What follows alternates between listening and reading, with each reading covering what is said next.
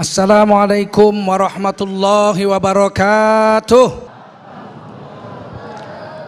Hamdan wa syukran lillah wa salatan wa salaman ala rasulillah wa ala alihi wa sahbihi wa mawalah. Allahumma salli ala Sayyidina Muhammadin wa ala alihi wa sahbihi ajma'in. Para pemirsa TV One di mana pun anda berada, bapak-bapak, ibu-ibu, saudara-saudari sekalian yang dimuliakan Allah Subhanahu Wa Taala, marilah terlebih dahulu sebelum acara ini kita mulai kita berdoa. Mudah-mudahan Allah SWT memelihara kita, memelihara negara kita, memelihara anak cucu cicit kita sampai hari kiamat. Tetap menjadi insan-insan yang bertakwa dan diselamatkan dari segala bencana dan wabah. Ala hadhihi niyah wa ala kulli niyatin salihah al-fatihah. Bismillahirrahmanirrahim. Alhamdulillahi Rabbil Alamin Ar-Rahmanir-Rahim Maliki Yawmiddin Iyaka na'budu wa iyaka nasta'in Ihdinas siratal mustaqim Siratal ladhina an'amta alaihim Ghairil maghdubi alaihim Waladdallin. Amin. Bapak Ibu sekalian Bicara tentang akhlak dan peradaban tidak ada yang bisa menyamai adab dan akhlak baginda Rasulullah SAW. Sehingga ketika istri tercinta baginda Rasul ditanya tentang akhlak Nabi dengan tegas ibunda Aisyah radhiallahu anha mengatakan khuluquhul Quran. Akhlak Rasulullah itu Al-Quran. Jadi kalau kita baca semua tentang kebaikan-kebaikan yang ada di Quran, maka itulah akhlaknya baginda Rasulullah sallallahu alaihi wasallam dan Allah memujinya wa innaka ala khuluqin azim. Sesungguhnya engkau hai Nabi Muhammad akhlakmu itu sangat agung bersangatan agungnya. Tidak ada cacat celah sedikit pun pada diri baginda Rasulullah SAW dan kita ini diperintah Allah untuk meniru Nabi. Walaupun berat walaupun susah ya kita tiru juga. Sebab Allah memerintahkan begitu Laqad kana lakum fi Rasulillahi uswatun hasanah. Sungguh telah ada pada diri Rasul Allah itu contoh yang baik untuk kamu. Jadi untuk kita Bagaimana cara makan, bagaimana cara minum, bagaimana cara tidur, bagaimana cara berjalan, bagaimana cara naik kendaraan, bagaimana turun dari kendaraan, bagaimana masuk WC, bagaimana keluar WC, bagaimana bercampur dengan istri sebelumnya, bagaimana setelah bercampur dengan istri, bagaimana cara berpakaian, bagaimana cara sholat, bagaimana cara berzikir, bagaimana cara baca Quran, bagaimana cara bayar zakat, bagaimana cara umroh, bagaimana cara haji, baik yang ibadah seperti sholat dan lain-lain, baik yang pergaulan sehari-hari, muamalat, utang piutang, pinjam meminjam, gade menggade, bagaimana nikah, bagaimana talak, kalau perlu cerai, bagaimana caranya talak, kalau menyesal mau rujuk, bagaimana caranya rujuk, bagaimana menghukum orang yang bersalah, harus ada bukti, ada saksi, kemudian dihukum dan sebagainya dan sebagainya dan sebagainya. Ketika satu kaum memiliki peradaban yang unggul, maka Allah muliakan kaum itu. Banyak tertulis di Quran dan dalam kitab-kitab sejarah kaum-kaum yang unggul karena peradaban yang unggul karena akhlak mereka unggul. Bahkan satu kaum yang mengamalkan satu pekerjaan yang kelihatan sepele ditulis di Quran. Ada satu kaum, satu kampung namanya Bani Salimah atau Bani Salamah di Medina, dekat Medina lah 6 km kurang lebih dari kota Medina dari masjid Nabi sekarang. Nabi hijrah dari Mekah ke Medina, singgah di situ. Kemudian Nabi membangun Masjid Kuba. Ternyata penduduk di situ sebelum Islam datang, mereka punya satu kebiasaan yang luar biasa yaitu kalau buang air istinja dengan air. Wah, kalau kira-kira buang air kecil mereka cuci dengan air, itu nggak terjadi di, di kaum-kaum yang lain. Maka disebut dalam Quran itu mereka itu dicintai oleh Allah. Kenapa? Karena mereka itu orang yang mensucikan diri mereka. Dengan istinja. Satu akhlak kecil saja kelihatan tapi ditulis di Quran dipuji dan sampai sekarang masih disebut-sebut. Apalagi kalau akhlak yang hebat. Ah, orang Arab jahiliyah katanya, mereka itu pemabuk betul, mereka pezina iya, mereka mencuri betul, mereka membunuh ah, -uh. Tapi ada satu keunggulan akhlak orang Arab Quraisy waktu itu, mereka tidak berdusta. Nah, itu satu kelebihan. Sehingga kepada ontanya saja mereka tidak mau berdusta. Tidak ada orang Quraisy yang pendusta. Mencuri iya, berzina iya, tapi dusta tidak. Kalau dia naik onta, lima hari perjalanan nggak jumpa air, dia tidak katakan sama ontanya, onta tenang, di depan ada air, nanti kamu minum. Tidak begitu. Dia bilang, wahai onta kamu haus, saya pun haus. Mudah-mudahan di depan ada air, nanti saya akan bisa minum dengan puas. Kamu juga bisa minum dengan puas. Jika kita ketemu air, nggak mau bohong. Kalau kita tenang, di depan ada air, kau bisa minum sepuasnya. Sama onta aja kita bohong. Hah, sama binatang kita bohong. Kalau orang Quraisy waktu itu, sama binatangnya nggak mau bohong. Itu satu keunggulan akhlak orang Quraisy. Walaupun mereka masih menyembah berhala.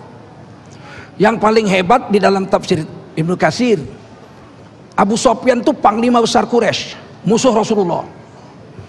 Rasulullah SAW Nabi, musuhnya Abu Sofyan. Satu hari Abu Sofyan datang ke kerajaan Romawi di Palestina. Ketemu Raja Romawi, Kaisar Romawi. Kaisar Romawi panggil, Abu Sofyan menghadap. Dia bilang, kamu Abu Sofyan, ya, pembesar Quraisy di Mekah, betul. Saya mendengar di negerimu ada orang mendakwa dirinya sebagai nabi. Oh ya betul namanya Muhammad, mengaku nabi. Bagaimana menurut kamu keadaan dia? Wah, dia orang terhormat. Dari keturunan orang terhormat, padahal musuh besar itu orang terhormat dari keturunan orang terhormat.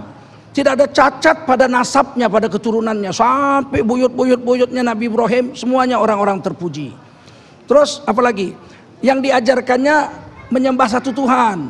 Terus apa lagi? Dia memerintahkan kami menghubungkan kasih sayang silaturahim. Terus melarang kami memakan bangkai, melarang kami melakukan perbuatan-perbuatan tercela. Loh, bagus dong kalau begitu. Ya yang dia bikin bagus, tapi kami nggak mau. Apa nggak maunya? Baik, Tuhan Yai. kami 360.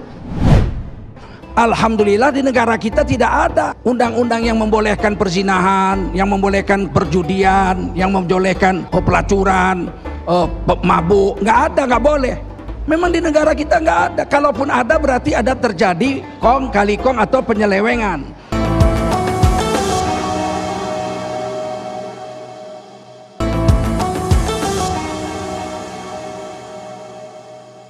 Pemirsa TV One di mana pun anda berada, kejujuran atau sifat sidik itu salah satu yang unggul. Peradaban manusia bisa menjadi hebat satu bangsa jika bangsa itu memiliki kejujuran. Baik rakyatnya jujur ulamanya jujur pemimpinnya jujur maka insya Allah kekuatan besar akan muncul dari kaum yang jujur itu berapa banyak negara-negara sedunia dicatatkan sebagai kaum yang memiliki peradaban yang agung imperium-imperium besar. Tapi ketika mereka mulai lari daripada keagungan ke luhur budi-budi yang luhur akhirnya Allah cabut kekuasaan itu. Allah gilirkan kepada kaum yang lain. Walikulli ummatin ajal. Tiap umat pernah berjaya dan tiap umat pernah menemui ajalnya. Apabila kepada mereka datang ajal maka tidak bisa ditangguhkan sedikit pun atau dipercepat sedikit pun saudara-saudara yang mulia para hadirin sekalian di dalam kehidupan ini orang menganggap dirinya kuat untuk merubah situasi. Padahal sebenarnya situasi ini bisa berubah karena Allah mau mengubahnya. Ada satu ayat yang orang sering salah mengartikan. Ayat ini populer sekali. Innallaha la yughayyiru biqaumin hatta yughayyiru ma bi anfusihim. Sesungguhnya Allah tidak akan mengubah nasib satu kaum sampai kaum itu merubah nasibnya sendiri. Akhirnya ayo kita kalau mau maju harus bekerja keras. Kalau kita mau begini harus berbuat begini. Padahal bukan ayatnya bukan begitu. Berapa banyak orang setengah mati berusaha merubah nasibnya, nasibnya nggak berubah. Dari umur 18 tahun jualan kangkung. Cari kangkung di rawa-rawa, jual kangkung. Sampai umur 83 tahun tetap jual kangkung. Matinya ketimpa keranjang kangkung. Nasibnya nggak berubah. Padahal dia kerja keras setengah mati. Terus maksud ayat ini apa? Para ahli tafsir misalnya Imam Tabari dalam kitab Jami'ul Bayan Fitawilil Quran beliau mengatakan Allah tidak akan merubah nikmat yang Allah telah berikan pada satu kaum sampai kaum itu merubah dirinya dari taat menjadi maksiat. Bisa pribadi, bisa rame-rame. Misalnya kita diberi Allah kesehatan. Tiba-tiba kita merubah diri. Akal kita cerdas, sehat. Kita ngisap ganja. Atau minum minuman keras. Atau main narkoba. Dalam satu hari dua hari akal kita rusak. Dicabut kenikmatan akal yang waras itu menjadi rusak gara-gara kita main narkoba. Kesalahan itu kesalahan kita. Allah cabut kenikmatan karena kita sendiri keluar daripada aturan Allah SWT. Nah, bisa juga karena kaum, karena kawan-kawanan. Misalnya begini, kata Nabi perang Uhud, pasukan pemanah 50 orang naik ke bukit. Jangan turun sampai saya perintahkan turun.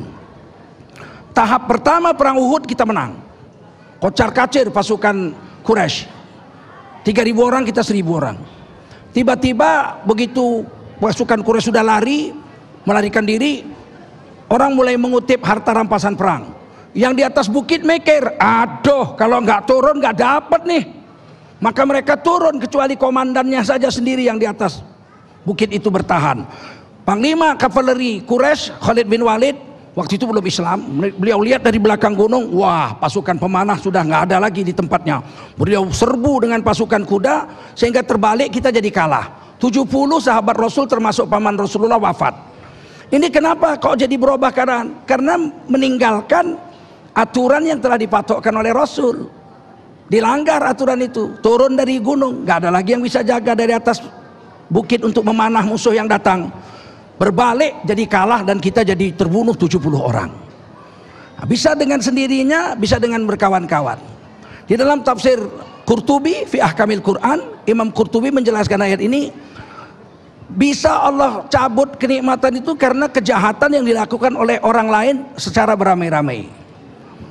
Nabi ditanya, "Ya Rasul, apakah mungkin kita akan mengalami kebinasaan?" Padahal di tengah-tengah kami, di tengah-tengah kita masih ada orang-orang soleh. Oh bisa kata Nabi.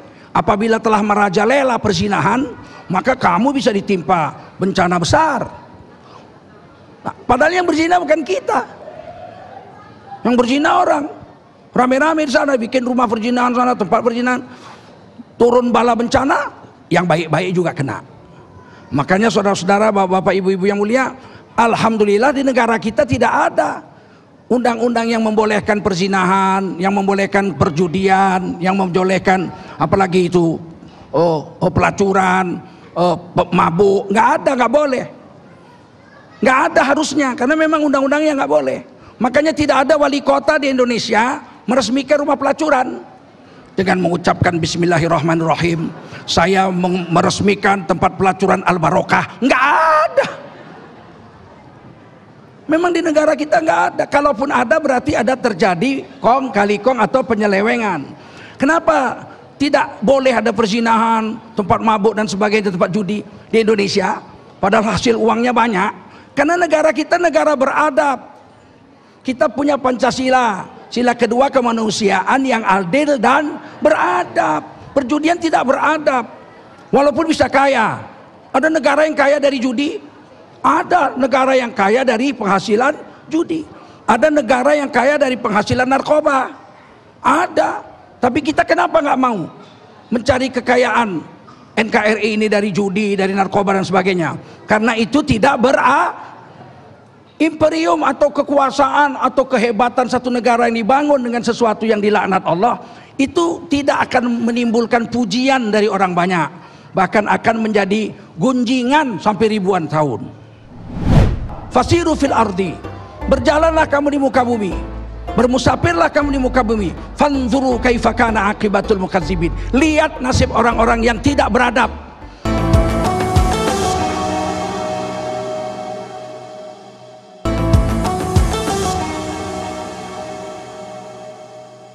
Pemirsa TV One di mana pun anda berada, dulu ada satu kaum yang kaya raya Kota itu di bawah kaki gunung Vesuvius di Italia. Udaranya sejuk, tanahnya subur, anggurnya besar-besar, buah-buahannya hebat-hebat. Sehingga semua hasil kekayaan alamnya dijual membuat mereka jadi kaya. Mereka mampu membuat kota dan mereka mampu membuat kota modern, rumahnya bertingkat, ada drainase pembuangan air, jalan rayanya bagus, kotanya dipagar bagus-bagus. karena tanahnya itu sejuk, banyak orang-orang dari kota-kota lain dan negeri-negeri lain datang ke situ, lama-lama membuat persinahan di situ. Diakomodir, disediakan zina laki-laki dengan laki-laki boleh, zina perempuan dengan laki-laki boleh, rame-rame boleh masal, sama anak-anak juga boleh disediakan. Apa yang terjadi? Gunung Vesuvius meletus tanpa batuk-batuk nggak batuk-batuk tiba-tiba satu malam aja kota Pompei namanya Pompei hilang dari permukaan bumi tertimbun lahar panas. Seribu tahun lebih nggak dapat di mana tempatnya. Akhirnya dicari-cari didapat petanya digali. Ternyata kota itu orang-orangnya masih ada lengkap dalam bentuk patung-patung tapi orang asli yang dalam posisi-posisi sedang berzina. Mereka mati dilumuri dengan uh, lahar panas itu mati dalam posisi hina. Sampai sekarang masih bisa dilihat masih bisa di uh, uh, diceritakan. Kata Allah fasiru fil ardi. Berjalanlah kamu di muka bumi. Bermusafirlah kamu di muka bumi. Fanzuru kaifa kana akibatul mukadzibin lihat nasib orang-orang yang tidak beradab. Orang-orang yang menghancurkan dirinya dengan adab-adab uh, uh, perilaku-perilaku yang durjana atau yang dilaknat oleh Allah Subhanahu wa taala. Oleh karena itu Saudara, ini penting jujur, membangun peradaban yang terbaik, tidak tercela, sehingga kita menjadi orang yang kuat, bangsa yang kuat. Bapak-bapak, ibu-ibu sekalian, mengenai kuman penyakit, Nabi SAW sudah beri gambaran 1400 tahun lebih yang lalu. Jika terjangkit satu penyakit menular di satu negeri, maka orang luar yang tidak terjangkit tidak boleh datang ke negeri itu. Dan orang yang di negeri itu diharamkan pergi meninggalkan negerinya untuk masuk ke negeri orang yang tidak kena penyakit. Tidak boleh. Kalau Indonesia ini kena penyakit menular, kita nggak boleh mengungsi ke Malaysia kalau di sana nggak kena penyakit. Kita membawa penyakit ke sana hukumnya haram. Atau Malaysia kena penyakit menular, mereka pindah ke tempat kita. Itu tidak boleh juga harus lockdown, nggak boleh masuk. Zaman Rasulullah jangan kau datangi negeri yang berjangkit penyakit dan janganlah kamu meninggalkan negerimu jika negerimu terjangkit penyakit. Ini kalau Indonesia kena, ini tanggung jawab kita semua. Jangan ada yang melarikan diri dari Indonesia. Semuanya kita gunakan sekuat tenaga kita untuk mengatasinya bersama-sama. Nah, bagaimana cara mengatasinya? Pertama kata Nabi, wadawu mardokum bisodako. Kalau kita kena sakit, untuk mengobati penyakit yang paling manjur, kata Rasulullah, obati orang yang sakit di antara kamu dengan bersedekah. Jadi kalau kita kena sakit supaya cepat sembuh, ke dokter itu usaha juga. Tapi supaya cepat sembuh, kita bersedekah. Dan ini sudah jadi adat budaya orang Indonesia ratusan tahun. Di kampung saya dulu kalau ada anak kecil sakit tujuh hari demam nggak sembuh, ibunya masak nasi, terus masak urap, terus rebus telur, rebus telur dipotong lapan potong delapan miskin nggak kaya potong terus goreng ikan asin kresek itu yang paling murah digoreng pakai tepung jagung. Kemudian dipanggil kawan-kawan anaknya yang sebaya.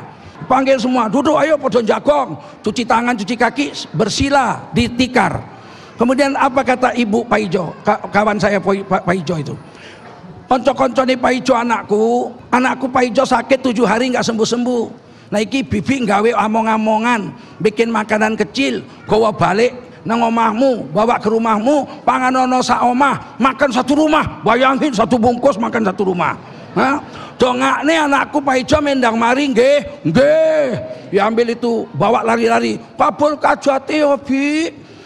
Oleh ibu-ibu kami diambilkan nampan. Dibukakan itu bungkus daun pisang itu pakai nampan. Kami semua satu keluarga keliling duduk di tikar makan sesuap sesuap seorang. Nah saya yang bawa dapat tiga suap. Habis itu doa, ya Allah sembuhkanlah Pak Ijo yang telah ibunya telah memberi makanan ini dengan sedekah ini. Itu saya pikir adat Jawa. Rupanya sunnah Nabi. Wadawu marlokum bis sodako obati orang yang sakit di antara kamu dengan sedekah. Amin ya Allah, amin ya Rahman, amin ya Rahim, amin ya Mujibas Sailin. Allahumma bisirril Fatihah wa bi barakatil Fatihah istajib du'ana wa hajatana ya Allah wa tamim taksirona bi rahmatika nastaghith. Ya Allah, Engkau jagalah diri kami, keluarga kami, anak istri kami, cucu cicit kami, negara kami, bangsa kami dari segala macam cobaan yang tak mampu kami memikulnya. Selamatkanlah semuanya kami ya Allah daripada bala bencana dan wabah penyakit yang berbahaya bagi kami dan bangsa kami. Satukan hati kami agar kami dapat meniti kehidupan yang harmonis, aman dan nyaman. Rabbana ya Rabbana, banyak hajat hidup kami, banyak keperluan kami. Engkau yang maha tahu keperluan dan hajat hidup kami. Penuhilah keperluan dan hajat hidup kami ya Allah ya Arhamar Rahimin. Rabbana atina fid dunya hasanah wa fil akhirati hasanatan wa qina adzaban nar. Wa sallallahu wasallam ala nabiyyina Muhammadin wa ala alihi wa sahbihi ajma'in. Subhana rabbika rabbil izzati amma yasifun wa salamun alal